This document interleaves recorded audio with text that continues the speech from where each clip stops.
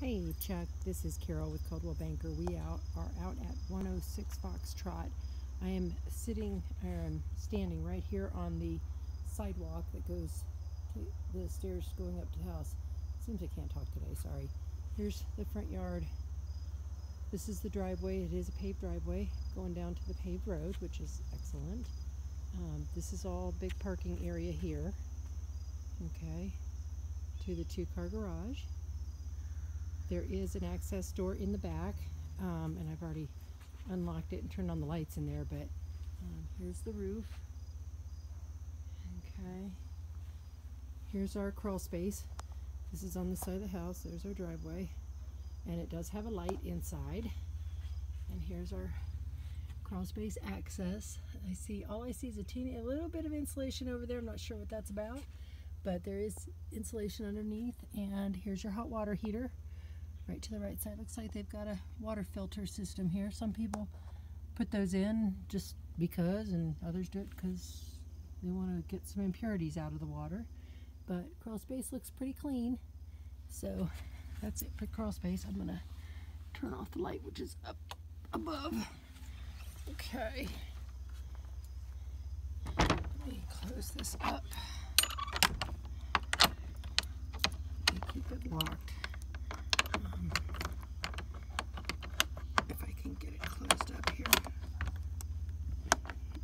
I'll take care of that in a minute. Um, so, and they've got concrete everywhere. They've got the drainage that goes underneath and then runs out so water doesn't collect here. Here's the back of the garage. Looks good. Again, we're looking out to the front of the property. And here's our back door into the garage, which is uh, average size. There is a window on either end or either side. So there's a window over there. Garage front and there's a window right here. So the garage looks pretty clean, uneventful, one opener. There is pull down attic access for the garage, which is nice. Um, you can get up in there. I see a pull light up there. So there is light up there. Um, Looks like they've done really good on their um, drainage. I see another drainage pipe there going out. This is the backyard. Okay. There's a neighbor over there through the trees. There's a neighbor over there. So it feels very private um, with all the trees. There's our shed. I'll have to see if there's a I'll have to go see what's up with the shed. So there's power in the garage, obviously. Um, there is a full covered back porch because we are at the back of the house. oh, that's the neighbor's shed right there. That's what that is. Um, I don't know if I'm going to have the key to this shed. Yes, it uses the same key as the other. Um, let me see here. There we go. I do, I do. Let's see what we've got in here. We have got power. I see um, light up here. Let me see if I can find a switch. Uh, don't see a switch.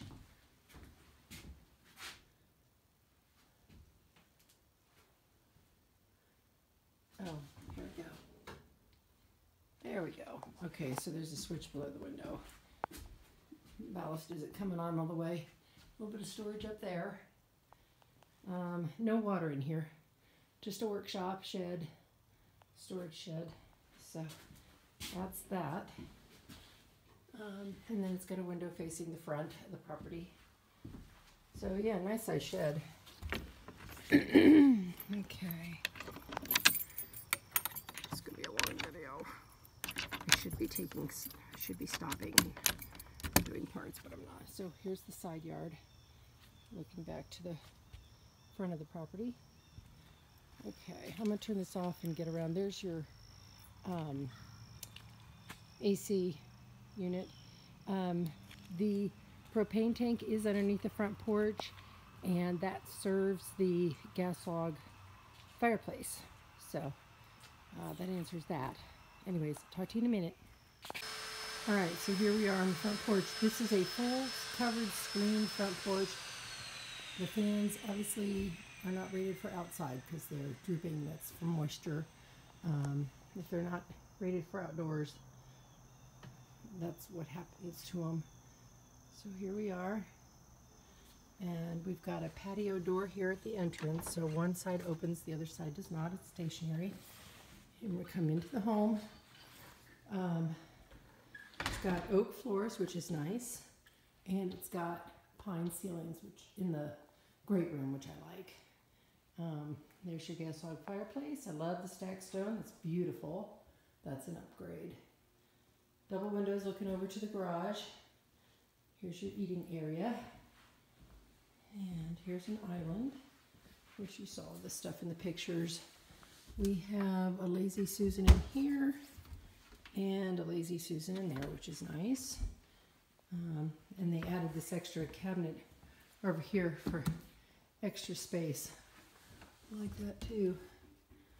Um, this island does not have any outlets or any plumbing to it, so I'm believing it moves. Let me see if I can move it. Yes, so this island will move. You can get rid of it. You can move it closer there to give more room here or move it out. You can do whatever you want with it. So um, that's nice. And then we go, and now we're at the hallway. Here's the kitchen. Your washer and dryer in the hallway with the bifold doors. There's your access for your attic. And your guess is as good as mine if there is a light up there. It looks like they have a security system as well. Um, um, it's not armed right now, but um, so washer and dryer, and then tile floor, which is nice. That's an upgrade. And then the tile follows into this hall bathroom. and then from that hall bathroom, if I stay to the left, I come to a bedroom. And I'll walk this way and then I'll turn around. So we've got a back window, a side window that looks towards the shed, and then a closet, which is a small walk-in closet. Oh, so you see there's ample closet space there. Um, and it's got a light. There we go.